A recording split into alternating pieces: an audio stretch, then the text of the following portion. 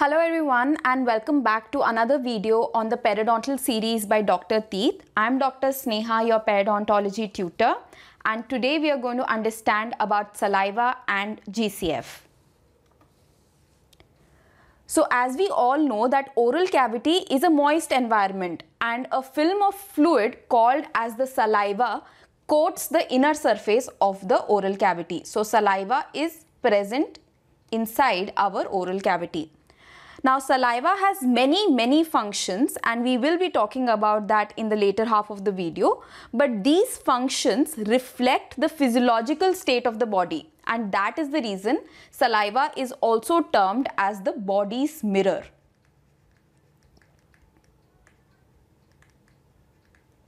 So any kind of metabolic factors, endocrinal factors, nutritive factors can be estimated by estimating the saliva.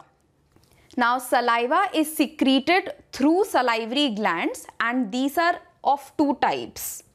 So we have the major salivary glands which are three in number. So the first one right here is the parotid gland, the submandibular gland and it's sometimes also called as the submaxillary gland as well and the sublingual gland. So now the tongue is somewhere over here. So it is present right below the tongue. So sublingual gland. Now coming on to the minor salivary glands. Now minor salivary glands are approximately 600 to 1000 in number. So they are extremely small and these can be located near the lingual mucosa, the buccal mucosa, the palatal mucosa, or the labial mucosa. Now, according to the nature of the saliva which is produced, uh, we can classify it as serous glands. So, these are salivary glands which contain the serous cells and they produce thin and watery saliva. Now, the glands which come under this category is the parotid gland and the lingual glands. Now the mucous glands are the glands which contain the mucous cells. So they secrete thick and viscous saliva.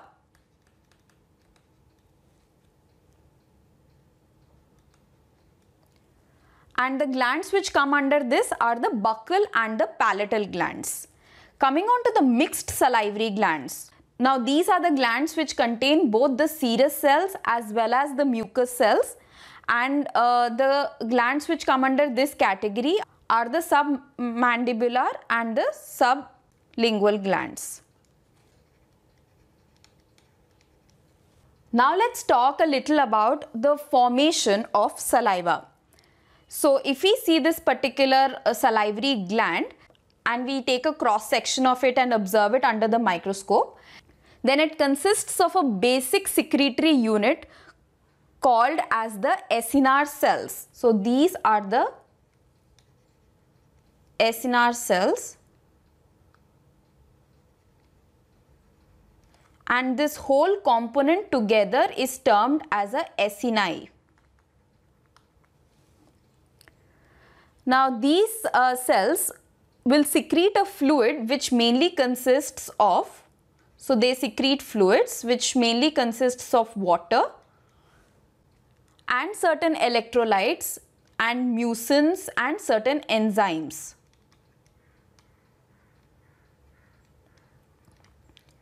Now once the secretion has occurred, the secretion flows through the acini into the collecting ducts. So this right here is the collecting ducts. It is coated by the ductal cells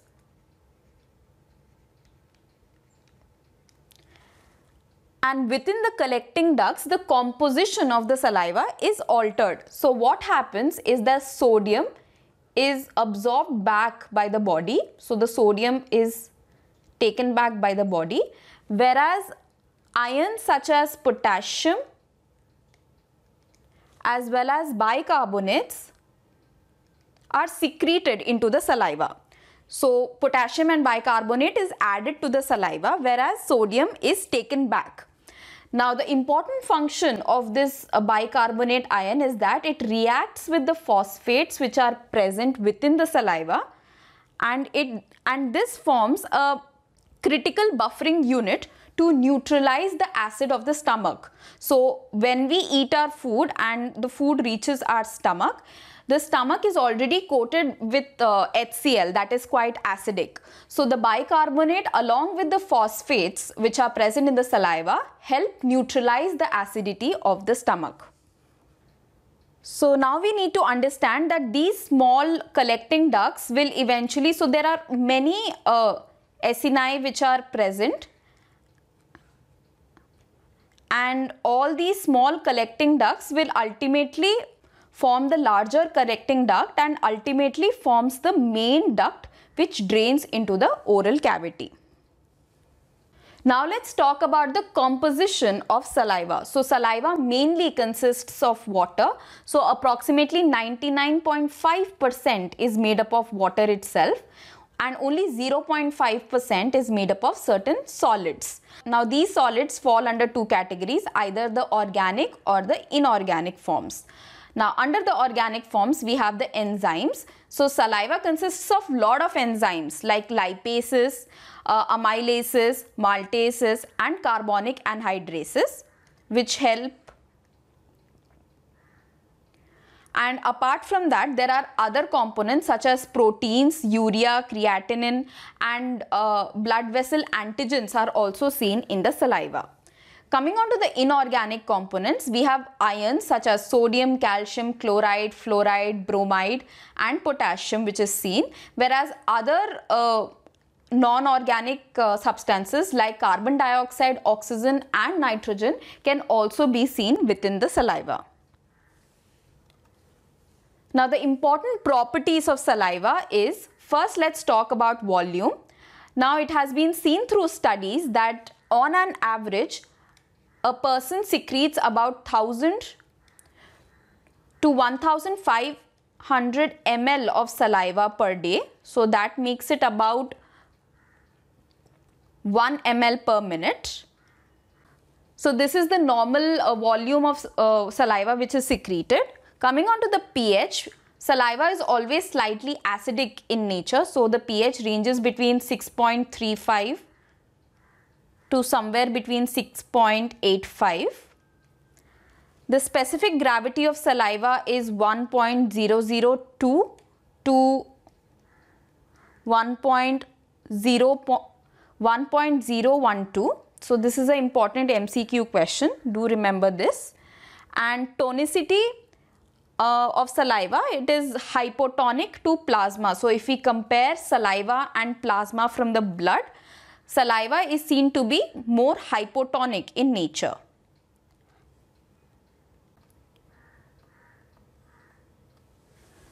Coming on to the functions of saliva. So we'll be talking about functions in three major categories. First is function associated with the food. So saliva helps in digestion. We have spoken about the enzymes present in saliva. So this helps in the digestion of food. It helps in the taste perception of food by our uh, taste buds which are present on the tongue and it helps in the bolus formation. So this bolus is then gulped down and it further gets digested.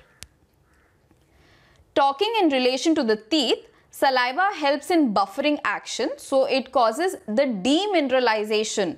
So, so it prevents the demineralization of the teeth and that is the reason when there is adequate salivary flow there is less chances of cavity formation whereas certain ions such as fluorides and calcium which are present in the saliva helps in remineralization of the teeth.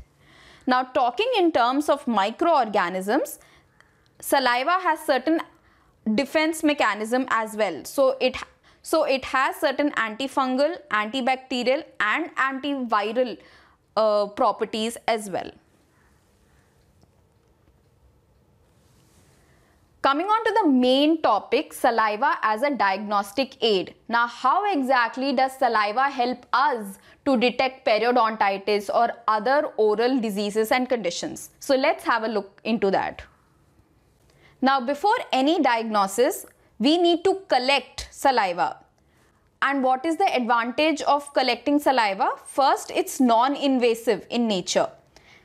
That means we do not require to use any kind of needles uh, to collect sal saliva. So it is painless, it is easy, it is fast. That is the reason it can be easily used uh, in case of children and in case of adults. The second important factor is it is cost effective. So you do not require uh, any kind of elaborate appliances or any kind of uh, uh apparatus to collect saliva, it is quite cost effective. And third, it can and third, it can be used to screen large populations. That is during um, surveys or during mass testing procedure, saliva can be easily collected. So let's see how exactly do we collect saliva. First technique is is termed as the draining technique or the spitting technique. Now in this the subject is asked to collect the saliva in the floor of the mouth for some time and after enough saliva is collected the subject is asked to spit it out in a pre-weighed test tube. So you, you can use a test tube and you can ask the uh, and ask the subject to spit their saliva in the test tube or on the other hand you can always use a suction to just suction the saliva which is present in the floor of the mouth. The second technique is to is called as the swab technique. Now in this a pre-weighed swab or a cotton roll or a gauze anything can be used is placed in the inside the mouth at the orifice of the major salivary glands. So we have the ducts of the major salivary glands which open into orifices and at these orifices these pre-weighed swabs are placed and after a while you remove it and wait again at the end of the collection period so as to know how much saliva has been secreted. The third technique is to use micropipettes. Now micropipette technique can be used to collect one particular type of saliva from a salivary gland. For example, you want to collect only the sublingual or the submandibular salivary uh, secretions. Uh, so if we have a pathology associated with the submandibular gland or the sublingual gland, you need to collect the saliva specific to that particular gland. So that is when we, we, we use micropipettes. So after blocking the orifice of the parotid gland by placing a gauze pad or, uh, or any kind of cotton, the, the saliva can be collected from the floor of the mouth using this micropipette and this micropipette is a digital micropipette so it will give you the volume of the saliva which is collected as a digital reading. The next technique is the Carlson Crittenden device. Now this device is specifically used to collect the parotid uh, gland secretions. So this particular device has two chambers. It has the inner chamber which is placed at the orifice. So this right here is the inner chamber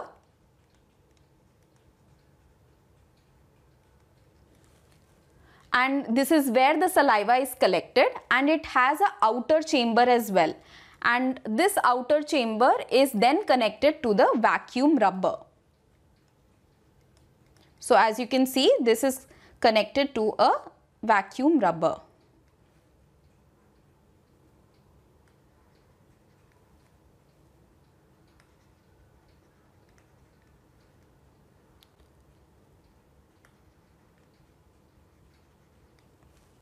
So once this inner chamber is uh, placed at the parotid orifice, the vacuum rubber bulb is is pumped so that a vacuum is created and there is enough saliva that is collected in the inner chamber which is then through this through this tube collected towards the exterior side using a test tube. But remember this collection technique is specific to the parotid gland. Now coming on to biomarkers. So once we have collected enough saliva, what do we do with it? So we help identify certain molecules which are present in the uh, saliva and these molecules come under category of biomarkers. So biomarkers are objective measures that has been evaluated and confirmed either as an indicator of physiological health, pathological process or pharmacological response to a therapeutic intervention.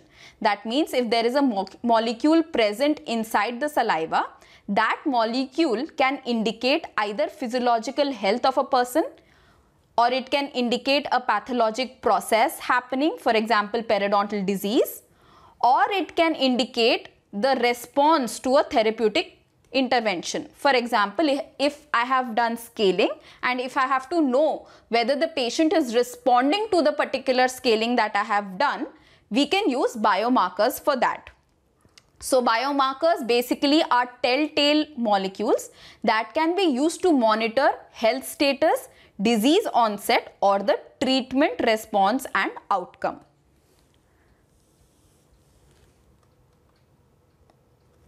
So these biomarkers can be classified as the locally produced proteins or the ones which are originating from the bacteria. Now examples of these are enzymes, immunoglobulins and cytokines. These biomarkers can be genetic or genomic biomarkers such as DNA and mRNA of the host origin as well as of the bacteria as well. Now examples of genomic biomarkers are cytokines, the interleukin 1, interleukin 10, the MMPs. And biomarkers can also be the bacteria or the bacterial products, the ions or certain steroid hormones and volatile sulfur compounds which are produced by the bacteria itself. So any of these components when examined falls under the category of a biomarker. Now talking specifically about periodontal disease, it is seen that biomarkers such as TNF alpha, the interleukin 1, MMP8,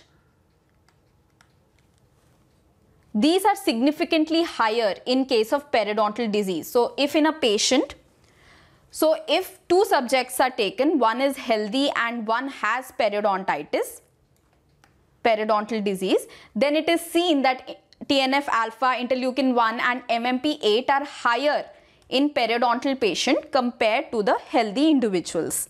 Similarly, the immunoglobulin IgA when present in saliva is uh, seen to be associated with periodontitis patients. Now, if we talk about certain malignancies, then protein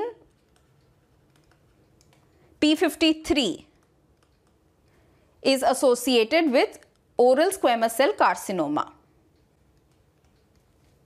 So broadly this is the use of biomarkers and it is an advancing field and newer technology is coming day in and day out in this field.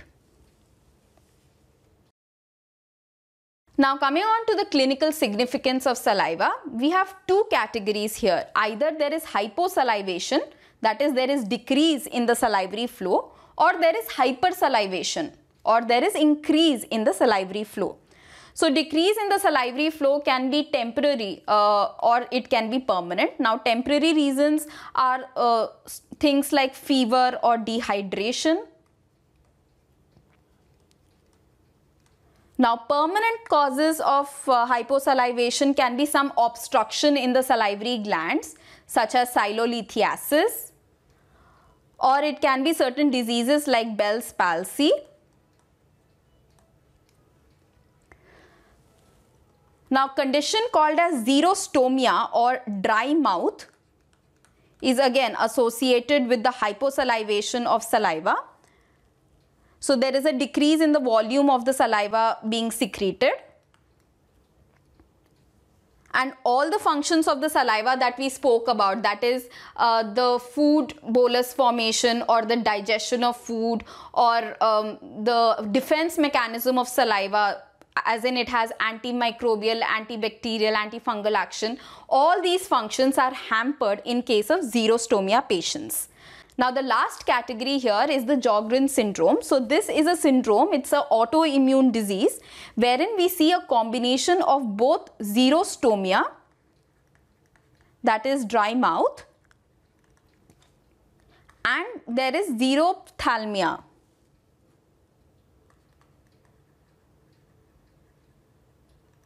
that is dry eyes. So this is an autoimmune condition. Coming on to the category of hypersalivation. Now hypersalivation is otherwise called as ptyalism or in common words it's also called as drooling. Now these are mostly associated with conditions as simple as nausea and vomiting.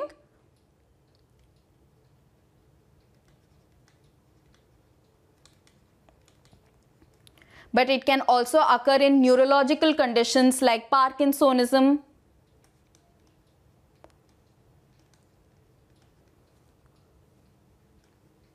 It can be associated with cerebral stroke.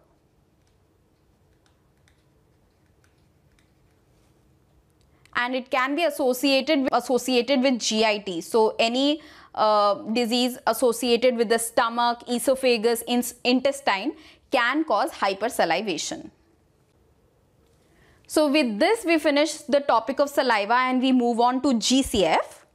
So if you want you can take a small break for 5 minutes and come back to GCF.